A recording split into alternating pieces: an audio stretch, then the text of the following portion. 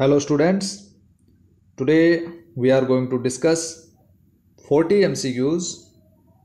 These were asked in NTSC test of social science recently. So let's discuss these MCQs. Question number 1 was which of the following statements is not correct about new economic and political situation created by the first world war? You studied in the textbook कि first world war में new economic और political situation create हुई, right? आपको बताना है इनमें से कौन सी ऐसी सिचुएशन थी जो फ़र्स्ट वर्ल्ड वॉर के दौरान नहीं थी। Huge increase in defence expenditure ये डेफिनेटली आपको याद होगा। Because of war the defence expenditure was increase जिसकी वजह से इनकम टैक्स भी इंट्रोड्यूस करना पड़ा।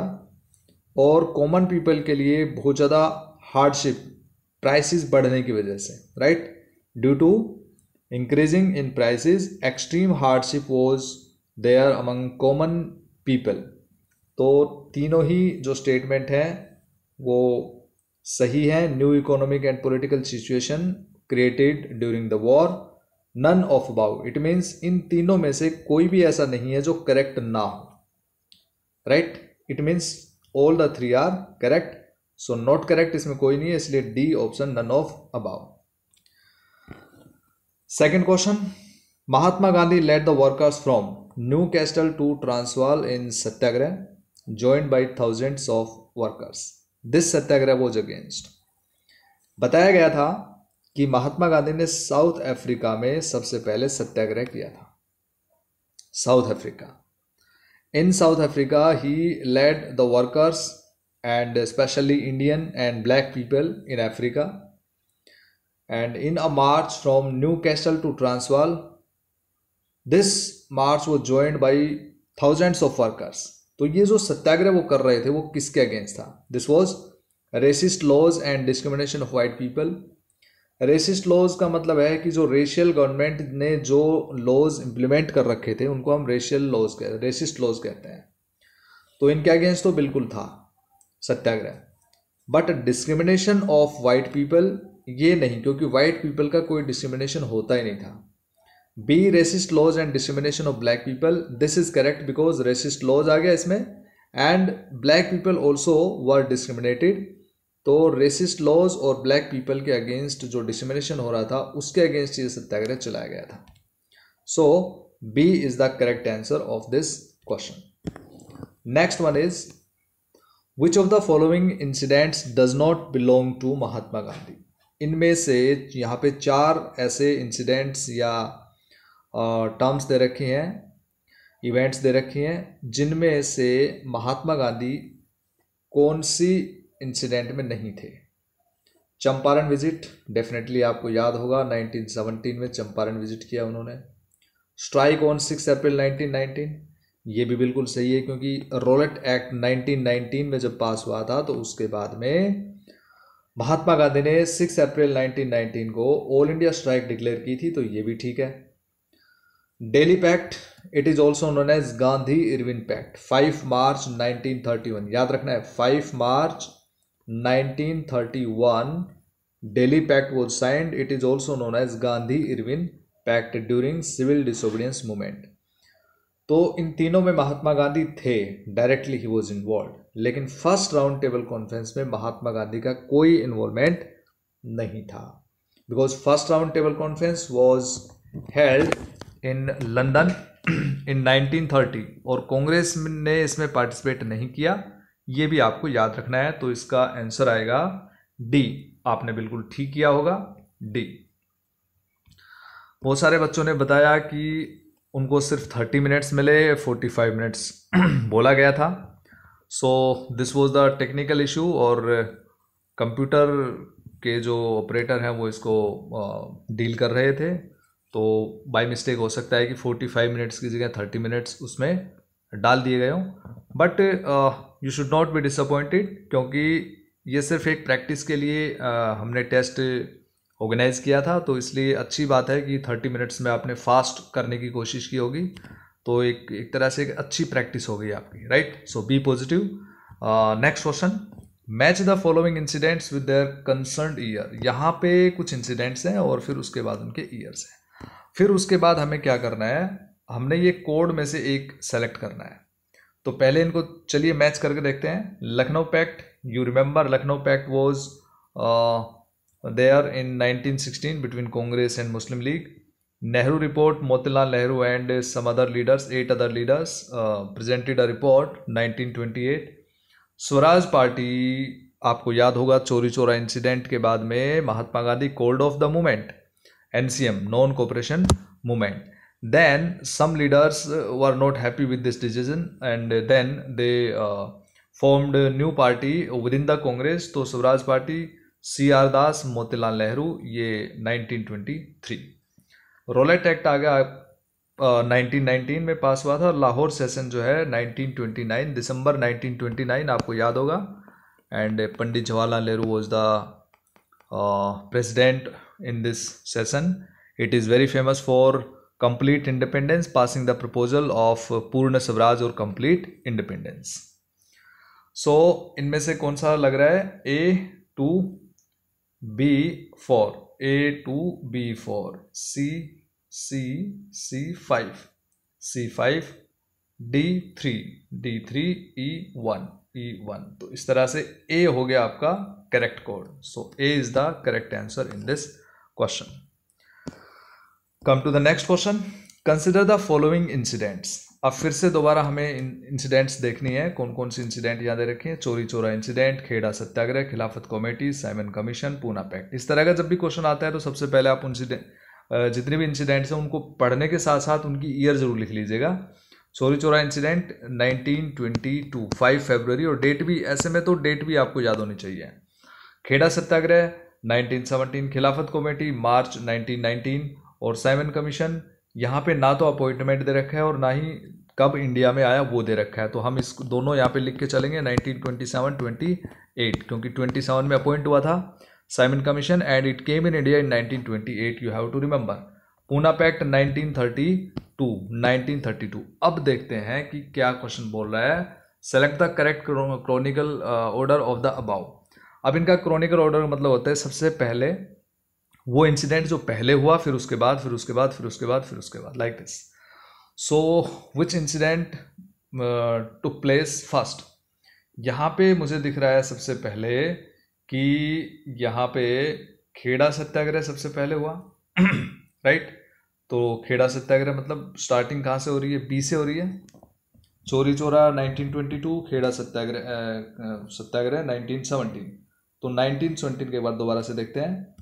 1917 अब मैं सिर्फ़ ईयर लिख रहा हूँ, आपको याद रखना है। 1922 खिलाफत कमेटी 1919 साइमन कमीशन 1927 माने या फिर 28 माने राइट एंड पूना पैक्ट 1932 तो देखिए, सबसे पहले कौन सा आ रहा है? खेड़ा सत्याग्रह। तो पहले कौन सा आ गया? बी अब बी किसमें है? फ़र्स्ट में सी में है। तो ऑब्वियसली आपका एक से ही आंसर निकल गया।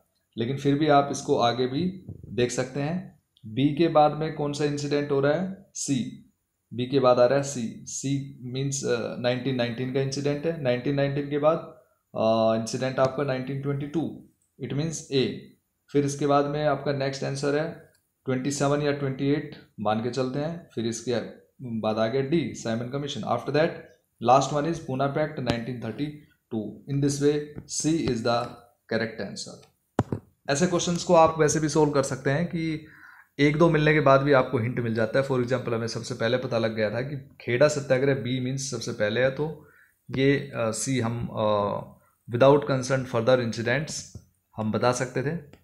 लेकिन फिर भी क्वेश्चंस को पूरा हमें पढ़ना चाहिए और carefully we have to give the answer of the following stages were suggested by Mahatma Gandhi to unfold the NCM non cooperation movement को किस तरह से उन्होंने, यहाँ पे देखिए क्या क्वेश्चन पूछा गया है। कि स्टेजेस कौन सी स्टेजेस महात्मा गांधी ने सजेस्ट की to other leaders of Congress कि एनसीएम को हमने किस तरह से चलाना है? नॉन कोऑपरेशन मूवमेंट किन स्टेजेस के अंदर चलेगा? देखिए, सबसे पहले क्या होगा? A it should begin with surrender of titles titles जो है वो छोड़ दिए जाएँगे। फॉर एग्ज़ाम्पल रविंद्रनाथ टैगोर ने नाइटहुड का जो टाइटल था वो छोड़ दिया था। बाइकआउट ऑफ़ सिविल सर्विसेज़ या सिविल सर्विसेज़ जो है, उनको भी बाइकआउट किया जाएगा। फुल सिविल डिसोबीडियंस कैंपेन और ये कैंपेन चलाया जाएगा सिविल डिसोबीडियंस का तो ये तीनों ही करेक्ट हैं। और करेक्ट ऑप्शन हमें सेलेक्ट करना है तो D is the correct answer A B and C come to the next question the Khilafat movement subsided because किस तरह से डाउन हो गया, किस तरह से स्लो डाउन हो गया, क्यों इसको बंद कर दिया गया था? रीजन देखिएगा the Congress withdrew, withdrew its support. क्या कांग्रेस ने सपोर्ट वापस ले ली? The British government fulfil the demands of the Muslims. तो मुस्लिम्स जिस वजह से खिलाफत मूवमेंट कर रहे थे, क्या ब्रिटिश गवर्नमेंट एक्सेप्टेड दैट और Mustafa Kemal Pasha came to power in Turkey and abolish the caliphate caliphate मतलब होता है द टेम्पोरल पावर्स और the powers in caliph caliph means Khalifa religious spiritual guru or we can say that a spiritual leader of Muslims, caliphate. तो इसमें कौन सा correct आएगा? ना तो ये सही था क्योंकि कांग्रेस ने सपोर्ट वापस नहीं लिया था और ना ही ये ठीक था क्योंकि ब्रिटिश गवर्नमेंट ने कोई डिमांड फुलफिल नहीं की। तो C is left C is the correct answer कौन से ऑप्शन में सी दिख रहा है आपको? Only A only B A and C only C so D is the correct answer when was the inland emigration act passed inland emigration act क्या था? It was the act according to which the workers in the plantation could not go outside बिना permission के वो बाहर नहीं जा सकते थे, अपने घर नहीं जा सकते थे। It was inland emigration act तो ये पास हुआ था 1859 1859 और इसको तोड़ा गया प्लांटेशन वर्कर्स ने इसको तोड़ा ड्यूरिंग नॉन कोऑपरेशन मूवमेंट जब उन्होंने प्लांटेशन से भागना शुरू कर दिया था। After that which of the following is in abrasive mineral abrasive mineral क्या होता है? तो जो जिसको हम एब्रेस या मतलब एब्रेसिंग करके हम क्लीनिंग वर्क करते हैं तो silica limestone aluminium oxide all of about तीनों ही एब्रेसिव मिनरल्स हैं राइट जैसे टूथपेस्ट में यूज़ होते हैं और इनसे क्लीनिंग का काम होता है रबिंग से all of about D is the correct answer come to the next question which one is the softest mineral कौन सा इनमें सबसे सॉफ्ट मिनरल है? Diamond limestone talc mica diamond सबसे हार्ड है it is the hardest limestone से भी ज़्यादा सॉफ्ट है टाक और माइका एक थिन शीट्स में मिलता है और ये अलग टाइप का थोड़ा सा मिनरल है. C is the correct answer although mica is also soft mineral but talc जो है वो सबसे सॉफ्ट होता है. Which is a false statement about the occurrence of minerals देखिए minerals are usually found in ores false ढूंढना है तो ये तो ट्रू है। Major metallic minerals are found in igneous and metamorphic rocks ये भी ट्रू दिख रहा है। Coal is found in sedimentary rocks और potash and sodium salt are found in oceans ये भी ठीक है, ये भी ठीक है, ये भी ठीक है बट विच इज़ करेक्ट और all the three are correct लेकिन कौन सा फॉल्स है? We have to select false this is the false क्योंकि पोटैश सोल्ट और सोडियम सोल्ट ये ओशियन में नहीं मिलते हैं। ओशियन में मिलता है common salt right so D is the correct answer of this question come to the next question the N G T has declared some activities illegal like red hole mining red hole mining जैसे आपको बताया गया, मेघालय में काफ़ी famous था, और इससे कोल निकाला जाता था इस तरीके से होल टाइप बना के।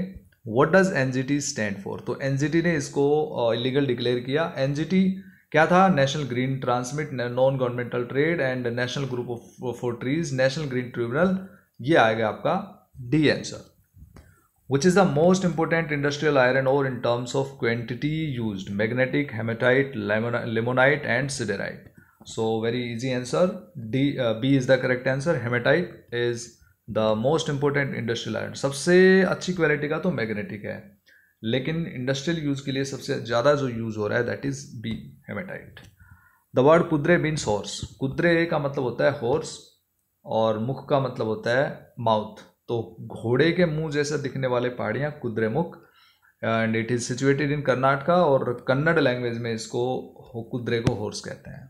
Kudre is the word of Kannada language which is a wrong pair इनमें से गलत पेयर कौन सा है? ओडिशा, झारखंड बेल्ट मयूरभंज। बिल्कुल मयूरभंज जो है वो उड़ीसा में सिचुएटेड है। दुर्ग, बस्तर, चंद्रपुर बेल्ट नौ नोआमुंदी कर्नाटका बेल्ट कुद्रमुख सही है। Maharashtra, Goa belt Ratnagiri is correct क्योंकि महाराष्ट्र में ही रत्नागिरी है, इसी बेल्ट में है। लेकिन बी जो है वो इनकरेक्ट है, क्योंकि जो नोआमुंदी है that is in Odisha, Jharkhand belt not in Durg, Bastar, Chandrapur belt so B is the correct answer you have to remember B is the correct answer which is not a mica producing area Nellore Ajmer Koderma none of above तीनों ही mica producing areas हैं। इसलिए none of above आपका आ गया answer क्योंकि इनमें से कोई ऐसा नहीं है जो माइका प्रोड्यूसिंग एरिया नहीं है।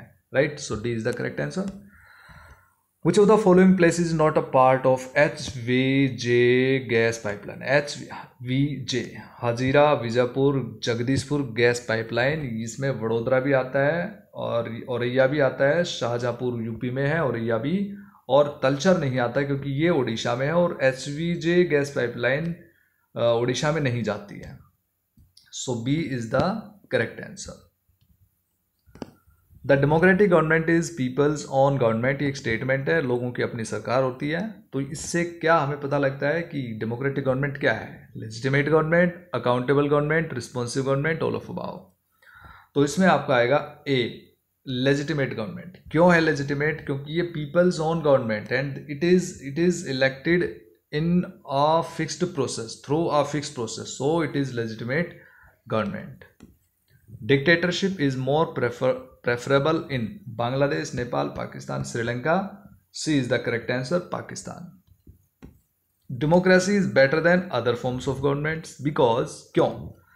Because it resolve conflict among people ये बिल्कुल ठीक लग रहा है। Provides transparent decision making system ये भी ठीक लग रहा है। प्रोमोट्स इक्वेलिटी अमंग सिटीजन ये भी ठीक लग रहा है। So the answer will be A B and C D is the correct answer of this question which of the following statements is correct about non democratic government अब देखिए non democratic government के बारे में दे रखा है कि वे क्या करती हैं? They are able to deal with social differences properly सही गलत मान के चलिएगा, ठीक है? They provide accountability and transparency ठीक है या गलत है? They often turn a blind eye to suppress internal social differences and they provide political equality to all इसमें हमें सिर्फ़ करेक्ट निकालना है। तो ये तीनों ही करेक्ट नहीं है, क्योंकि ये सिर्फ़ डेमोक्रेसीज में ही होता है। ये सही है C because it is they often turn a blind eye to suppress internal social differences internal social differences को सप्रेस करने के लिए राइट दे आर डेडिकेटेड और we can say that they often turn a blind eye the economic development of a nation is affected by कौन affect करता है? Debate in legislature legislature में debate करने से तो इकोनॉमिक डेवलपमेंट डायरेक्टली इफ़ेक्ट नहीं होता है अफेक्ट नहीं होता।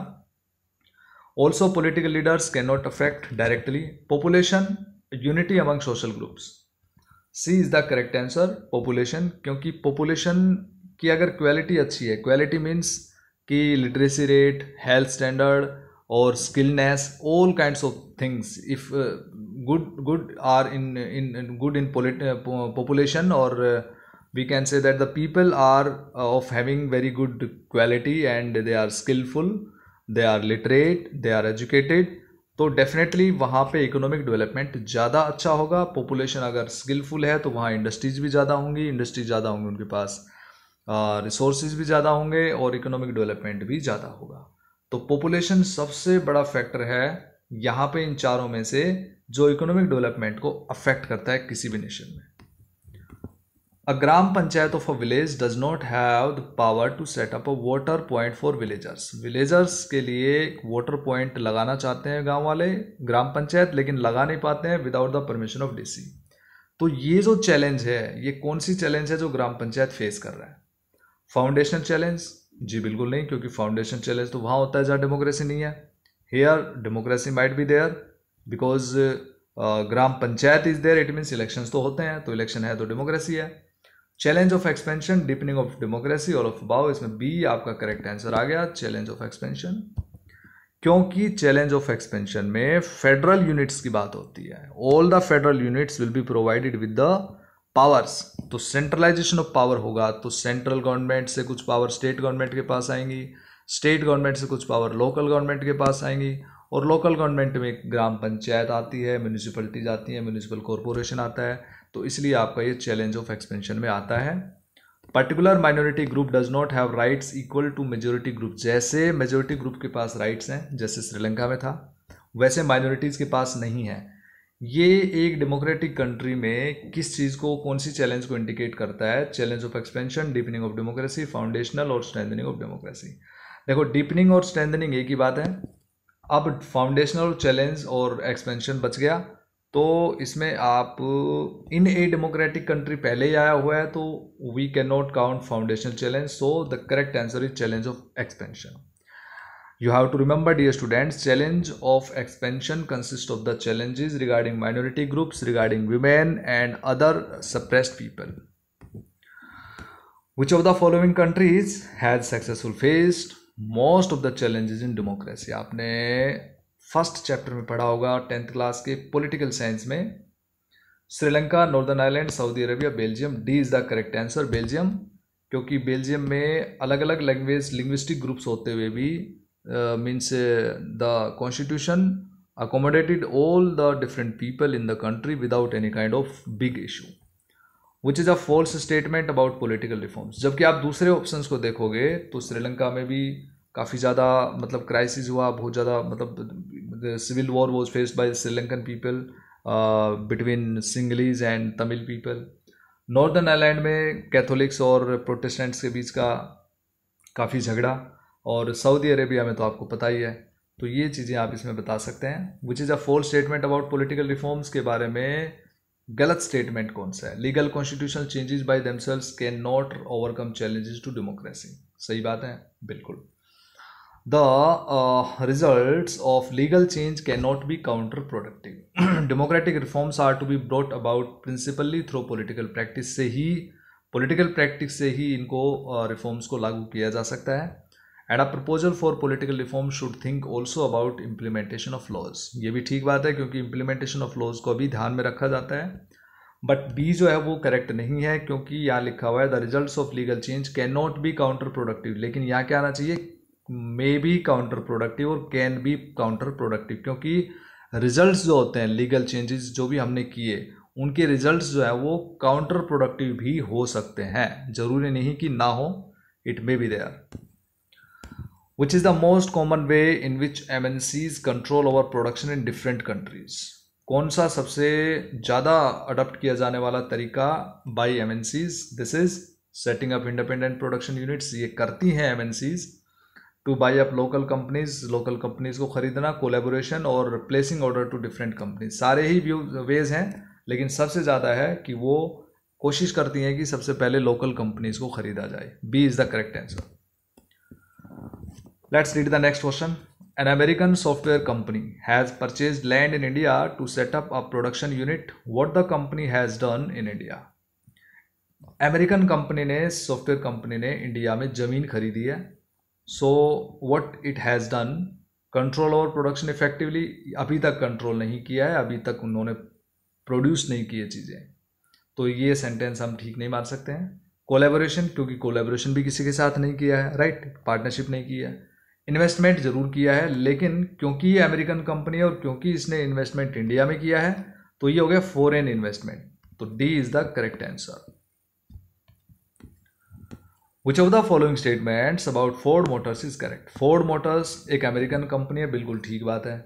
It came to India 1999 and setup its first plant in Bengaluru and it exports cars from south from India to South Africa Mexico and Brazil A and C both are correct लेकिन ये गलत है क्योंकि 1995 में ये India में आई थी and after that it setup its a first plant in Chennai not in Bengaluru so A and C are correct A and C means B is the correct answer thirtieth question the Coca Cola company काफ़ी नाम सुना होगा आपने Coca Cola आप पीते भी होंगे the Coca Cola company is a multi national beverage corporation it was founded in तो कोका कोला कंपनी जो है वो कौन सी कंट्री में सबसे पहले इसका एस्टेब्लिशमेंट हुआ? So founding nation is Germany France England USA D is the correct answer USA is the founder nation of Coca Cola company the process of rapid integration और interconnection between countries is called बिल्कुल simple है। Liberalisation liberalisation होता है कि trade barriers को हटाना। World trade expansion यहाँ बिल्कुल नहीं लग रहा है, क्योंकि सिर्फ़ वर्ल्ड ट्रेड ज़रूर है, लेकिन globalisation world trade is the part of globalisation C is the correct answer और ग्लोबलाइजेशन से ही कंपटीशन जो है वो इंक्रीज होता है। After that where is the headquarter of W T O situated W T O's headquarter is in Geneva A option is the correct option when is the international consumer day और world consumer rights day एक ही बात है और ये कब celebrate किया जाता है? ट्वेंटी फोर दिसंबर को इंडिया में consumer day national consumer day celebrate होता है और fifteen March is the correct answer fifteen March is correct answer twenty four October काफ़ी फ़ेमस है क्योंकि ये यूएन डे इस दिन हम सेलिब्रेट करते हैं United Nations day consider the following statements about the consumer international consumer international का एस्टेब्लिशमेंट 1960 में हुआ, सही बात है। Its headquarter is situated in London it is also correct and its a theme for 2020 2020 के लिए इसकी थीम है the sustainable consumer all the three are correct so which is true of about A B and C D option is the correct after that Suresh had bought a TV Suresh ने एक TV खरीदा किसी दुकान से। After that एक महीने के बाद वो ख़राब हो गया जबकि इसमें एक साल की वारंटी थी। लेकिन साउंड में खराबी आ गई। He went to the shopkeeper for replacement but even after many reminders the shopkeeper and company did not replace it then Suresh filed a complaint in district consumer forum where the court ordered the company to pay 10,000 rupees to Suresh as compensation and also to replace the TV. TV replace करने का भी order दिया गया और दस हज़ार company को पे करना पड़ा सुरेश को। तो इसमें सुरेश ने कौन से राइट का यूज़ किया है? Which consumer right has been use by Suresh?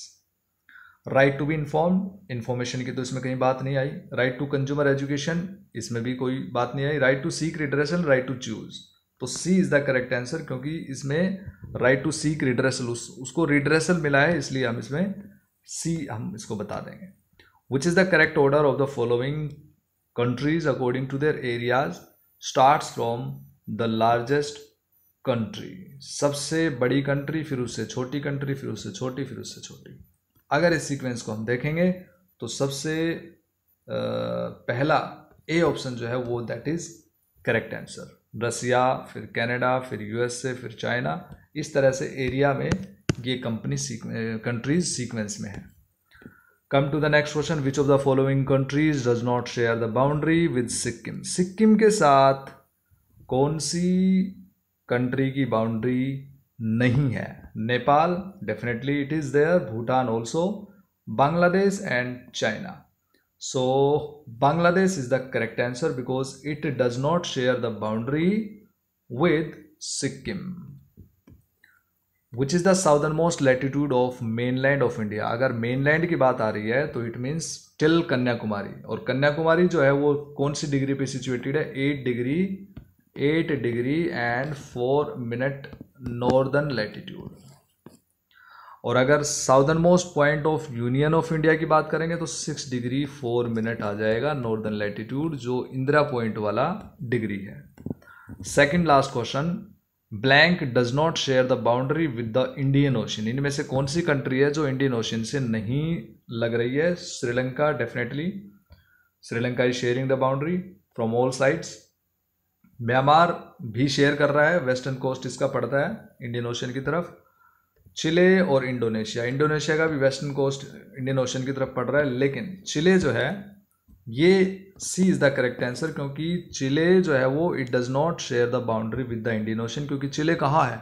Chile south America में है और पैसिफिक ओशन को ये जो है शेयर कर रहा है Pacific ocean on the western coast of Chile.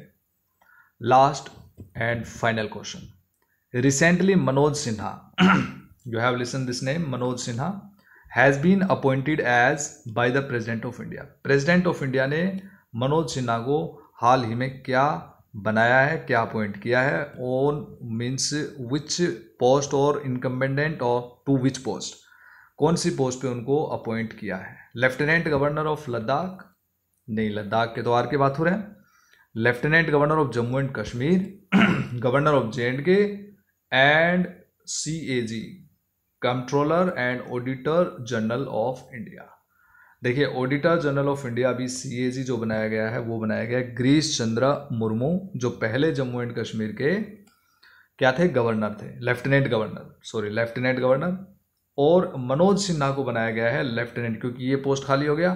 तो lieutenant governor of Jammu and Kashmir बनाया गया मनोज सिन्हा को। So B is the correct answer so dear students in this way we have completed all the forty questions उम्मीद है कि आपने अच्छा attempt किया होगा और सारे क्वेश्चन समझ में आए होंगे।